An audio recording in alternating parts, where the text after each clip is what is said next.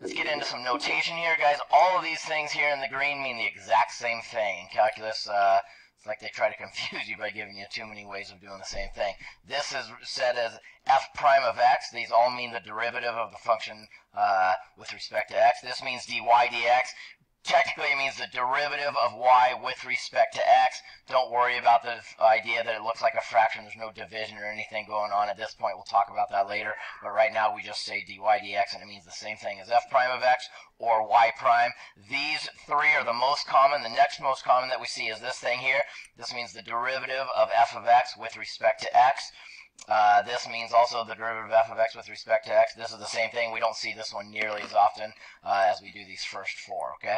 Uh, when, little vocab as we move forward. This first word, differentiation, it means the process of finding the derivative. So if you differentiate a function, it means get the derivative of it, get the slope of the tangent line at a point, okay? Uh, we say that a function is differentiable if its derivative exists, and we say that a function is differentiable on an open interval if it is differentiable at every point in that interval. So we'll talk about where functions are or are not differentiable. Theorem 2.1 tells us that differentiability implies continuity. In other words, more formally in the black here, if f is differentiable at x equals c, then f is continuous at x equals c. It does not necessarily go the other way around. Uh, if we have continuity, then that uh, doesn't doesn't necessarily mean we have differentiability. Some examples might be here. If you have a function that goes here and then comes to a sharp turn, like a cusp is what we'd say, imagine a piecewise, this area right here is continuous. I didn't have to pick up my pencil to, uh, to uh, stop drawing that, but, uh, or in order to draw that, but it doesn't have differentiability because the uh, it, it's not a smooth curve. And if I ask you what is the slope of the of this curve at this point, you could do that. If I ask you slope, what's the slope of the tangent line at this point, you could do that. But what's the slope of the tangent line at this point? Well, there is no tangent line. Does it go that way or does it go this way? And since we don't know anything on a sharp turn, then we'll get more to that later, and that's that, okay? Um, so, let's see here. As for uh, this next part, um, in the green here, we say if the limit of f of, of, f of c plus uh, delta x minus f of c for delta x approaching 0 equals, I'm sorry, over delta x is uh, infinity or negative infinity, and you could have put x up here for the c's. It's the, basically, if this is saying if the derivative is infinity or negative infinity, think of what that would look like. If you have a slope that's approaching, uh, you know, 10, 100, 1,000, 10,000, as you get closer and closer to a value, that must be happening as the uh, line is going, as the curve is basically going straight up. That happens at a vertical tangent, okay? Uh, at a uh, horizontal asymptote. So we say, um, if that's true, then uh, uh, that could happen other places, like for example at uh, the curve uh, f of x equals the cube root of x squared. We know what that looks like right there at zero. There's a vertical uh, tangent line there as well. So at a vertical tangent line, this could be a quiz question or test question, um, the derivative does not exist, okay? Uh, here we go. Uh, so, so far we have differentiability not occurring at anywhere where we don't have continuity or at a vertical tangent line. Moving on. Get your uh, calculator out for a second. You might want to hit pause here. So now, uh, go ahead in your math menu and hit number choice 8, and you'll see this thing called n-deriv. That means the numerical derivative. You want to type it in after you get the parentheses here of function comma x comma the number. So for example, if I wanted to find the slope of the tangent line at x squared, or of x, the curve uh, x squared at x equals 1, I would have to type math 8 and uh, hit enter, and then I, when I get this n-deriv and a parentheses, I would type in x squared, that's the function, then comma, uh, which is, uh, I believe, above the 7. I, am not positive on that, but uh, it's up there. And then uh, comma x. You're here in this part, you're telling your calculator what you want your uh, calculator to differentiate with respect to. We differentiate with respect to x at this point. So then comma, and then the number that you want to see what point, at x value do we want it to find the slope of the tangent line at. So then when you do that, it'll, uh, if you hit enter, it'll tell you, should give you the answer is 2 too. Okay, uh, so we'll come back to that later. Guys, when you're doing this process that we talked about yesterday, where you take the limit of f of x plus delta x minus f of x over delta x, like we did in uh, the first day of this, and you get an expression in x, something like 2x or uh, 3x squared. And then you take your, your uh, from there, you can take an x value, plug it in, and you get the slope of the tangent line at that point. Well, if you don't want to care about the slope of the tangent line at every point, you don't want an expression in x, but you really just want to go directly to the uh, slope of the derivative at a single number, then you, you can use this alternate alternate form of the definition of the derivative. Again, it says use when you want a numerical value of the derivative at a specific point rather than an expression in x. When you do the original form of the definition of the derivative, this whole thing, you get an expression like 2x and that tells you the value of the slope of the, of the uh, tangent line at all points, no matter what the x-coordinate is. If we want to go directly to a single point, then you can say f prime of c is the limit as x approaches c of f of x minus f of c over x minus c. This will be in x, this will be in c, and these will be numbers. So we'll come back to those later. Uh, in example 1 here, this says, find the equation of the tangent line at a point given. So, if we have f of x equals x cubed at the point 2 comma 8, the first thing we want to do is use our definition of the derivative. f prime of x equals, uh, over here, but then at this point I could do the, uh, uh, I'm sorry, let me backtrack here. I could do this problem here and go straight to it. We're going to look at it in several ways. So this one I'm going to use the other method. I'm going to get the expression in x and then I'm going to plug in the value. So here we go. Here's the definition of the derivative originally. I'm going to do f of x plus delta x minus f of x over delta x. When we expand this cube, please memorize the expansion of that uh, binomial cubed. It's this part right here up to there. Make sure we put uh, delta x in parentheses here. So when we cancel out the x cubes, we get this look, and then we can cancel out all of these to have a delta x remain in it, so they cancel out, and we're left with this.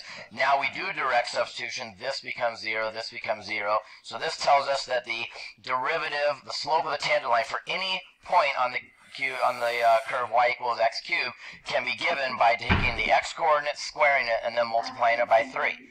Okay? We know that the point 2 comma 8 is on that curve. That curve looks like it goes up here and then back up there. If we go up here to the point 2, 8, there's a tangent line, and now we can just do if f prime of x equals 3x squared, then f prime of 2 equals, put a 2 here, a 2 there, square it and multiply by 3, and you get 3 times 2 squared, which is then 12. So this tells us that, therefore, the slope of the tangent line at the point 28 is 12. Okay? Uh, so if we wanted to get the equation of the tangent line, well, what's the equation of any line? What do we need? We need a slope and we need a point. All this work here gave us the slope. That's the slope. That's the point. So now we can go into point slope form, write it like that. That's the best way. But if you need to graph it on your grapher, you can solve for y and you get this guy here. Okay? So now let's go back and try our n-deriv. And if at any point during this video you need to hit pause and do your own examples, that's probably a good idea. So now try n-deriv, type in x cubed, x, comma 2, and what does it give you? Does it give you exactly 12? No. Okay? No, it gives you 12.0000001. And you have to be smarter than your calculator. I know it doesn't seem like that sometimes, but you are infinitely more intelligent than your calculator. It's going to give you this. You have to interpret that as 12. So on a test, if you do this and it says 12.0000001, don't write that. The answer is 12. Okay? If you were to graph on your uh, graph uh, on your y equals field 12x minus 16, uh, and go ahead and do that on your grapher. I'll give you a second. You might want to hit pause. Then go to your calculate, calculate menu and choose dy dx, and it'll ask you what point you want to calculate the derivative at, and it, go ahead and type in 2 and hit enter, and it'll give you this same value. And so there's two different ways on your calculator that you can find the derivative at a point. You can either do it with deriv by typing it in, or if you're on your graph, then you can calculate dy dx and interpret that as 12. Okay, so we note that a function is not differentiable at a cusp. That's the uh, diagram I showed you earlier. In other words, what would the slope be? Well, it would be two different things from the from different sides, so we don't have that. So we don't have differentiability at a cusp or a vertical tangent line. Uh, the slope would be undefined. Okay. Some homework hints for number 24. If we do that one, uh, use number 16. These are related. Don't redo the problem for 24. And for 49, use the alternate form of the definition of the derivative. So if you go to section 2.1 and do number 27 through 30 orally, just to get a check on how we're doing here, take a look at number 27 and uh, through 30 and do the matching on this with me. Go ahead and open up your book. Hit pause if you need to. Okay, now this is asking for number 27, the f of x equals x, which of these a through f, which of these functions has, which of these, um, it says use your knowledge of the graph of the function, uh, and the geometric interpretation of the derivative to match the function with the graph of its derivative. Well, what's the slope of the, of the line y equals x? It's 1. So which of these graphs, A through F, has a, has a, uh, says that at any x value, the, the, uh, the, the, derivative, f of x, is 1? Which of these has is the graph of the derivative? It's 1 everywhere. Well, it's got to be B. Okay? For uh, 28, uh, f of x equals x squared. We did that one. Okay, what is the derivative of f of x equals x squared? We did that one in our warm-up yesterday. f prime equals 2x. So which of these is the graph of f equals 2x? Okay, e is the derivative, is the graph of the derivative of number 28, and you get the idea, okay? So that's uh, that part. We're going to squeeze this next part in here. Um, to examine derivatives from the left and right, we need to consider differentiability and continuity of piecewise functions. This symbol here means that f prime from the left means the derivative from the left. What slope are we coming in at from the left side? This symbol here means the derivative from the right. So they're asking in example one, is f of x differentiable? Well, a couple things need to happen. First of all, we have to have continuity. Okay, you can't have in this, you can't have you can't have two piecewise functions or two piecewise parts coming in at the different levels there and here. And even if they have the same slope coming this way and this way, they don't touch, so this would not be continuous. Therefore, it's not differentiable. Okay? Um, this part here, we note that f prime of x is going to be different for this expression than it is for this expression. We already did the derivative of this expression. We found that uh, in our warm-up yesterday that the derivative is uh, 2x.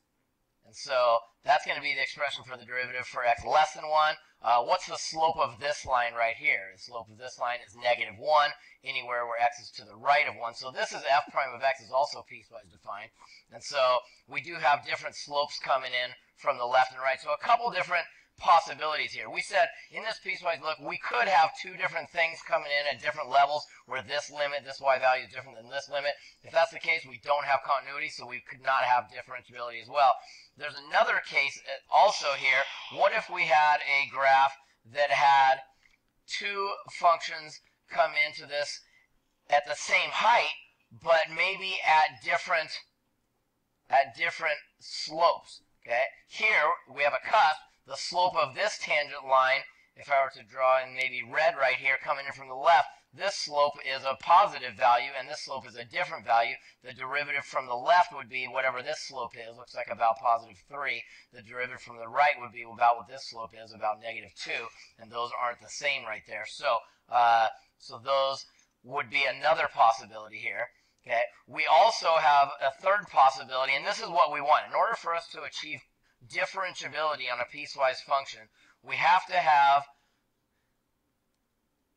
we have to have at this value right here, we have to have not only do they come in at the same height so that they touch each other unlike this graph, but they come in at the same angle like this graph here. So, or unlike this graph here. So we want, for example, suppose we had a parabola that, that had a downward slope to right there, and maybe another line that went just like this, so this would make a single smooth curve, so that if I were to give the tangent line from the left, it has that slope, and the tangent line from the right has the same slope right there. So that's kind of the idea of what we're looking at here uh, analytically. So first we want to find out what is the limit from the left and the limit from the right. So to do that, let's go back to last chapter to talk about uh, continuity first. This part right here, we first have to determine do we have continuity.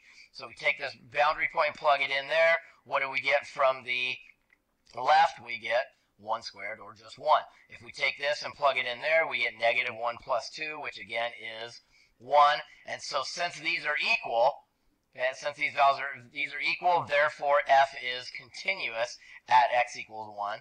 So uh, that tells us that we do not have something that looks like this guy right here, but instead these the graphs actually touch each other. Now we got to determine do they come in at the same angle like this, or do they come in at the same angle like that. So, if I were to bring this back up here, now let's look at the derivative from the left. That's this expression here. So now I want to take this boundary point and plug it into the derivative from the left. I'm going to get 2 times 1 or just 2. Or if I get the derivative from the right, the derivative from the right, no matter what, on the right side is a slope of negative 1. So uh, I can't plug anything in anywhere. I just get negative 1. Do these come in at the same angle? No. The slope here is 2. Coming out like this, the slope from the right is 1. All right? And so since these are not equal, we do have them touching each other, but we do not have differentiability. We would get a graph that kind of looks like this guy right here, where they touch each other, but they don't come in at the same angle. Okay? Uh, let's take a look at one more example here. This one here says, is f of x uh, uh, given by this piecewise function, is it differentiable? Note that f prime of x is 2x for x less than 1 and 2 for x greater than 1.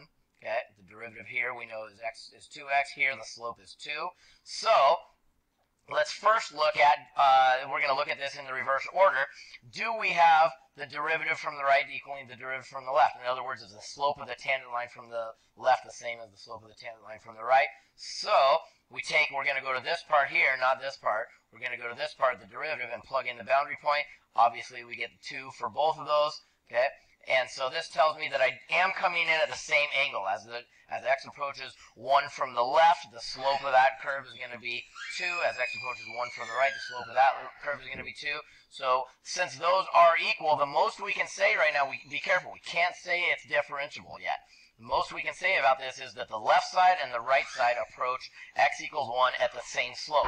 So now we got to determine which one of these do we have? We know it's not this one. These come in at a different angle. Now do we have this where they come in from the left at a slope of 2 and we come in from the right at the slope of 2 but they don't even touch each other? That's what we have so far. We don't know if it's the, they actually touch each other. Or do we have them uh, coming in at the same height, uh, I'm sorry, the same slope from the left and the right but they do actually touch each other? We know they're the same slope from the left and right but we don't know if we have them even touching each other. So now we got to test for continuity. So we're going to go back to the original function, plug 1 in there, plug 1 in there, and do we get the same thing? Well, if we plug 1 in here, we're going to get 1. If we plug 1 in here, we're going to get 3. So since those are not equal, we can say, even though they were coming in at the same angle, we don't even have continuity. So basically, it would look like the graph that we saw first, this thing right here. Okay, so we don't have continuity he uh, uh, here, so we can't have differentiability. If a graph looked like this, we would have continuity but not differentiability. We need for the limit to be equal and the slope from the left and the right to be equal. So a third example would look like this. Uh, is this function differentiable at the boundary point 1? Well, what's the derivative of this? 2x. What's the derivative of this? 2. So if I were to take a look at the f prime of x piecewise defined. That's going to be 2x anywhere to the left and 2 to the right. Now let's look at uh, the, uh, this gives me continuity. When you're checking limits, you're checking for continuity. Do they actually touch each other? This part here, when you take in 1 and plug it into the expression from the left, you're, you're checking the height right there, so that is a value of 1 squared or 1. Take this one, plug it in here, and I'm going to get 2 times 1 minus 1, which is 1. Since these are the same, those are in fact equal. Therefore, we do have continuity. So what that would look like is we know we either have this where they come in at the same angle or this where they come in at different angles, but we don't have this. We do have continuity, so these would actually touch each other, right? So then over here, let's check for the derivative from the left and right. Take Now check this expression. Take one, plug it in there, take one, plug it in there. Both of them are equal to 2, so that tells us that since they are equal, we do have them coming in at the same slope. Since they're at the same slope and they touch each other, we do have differentiability. So uh, your assignment for this is uh, the combination of what I gave you in class for this one and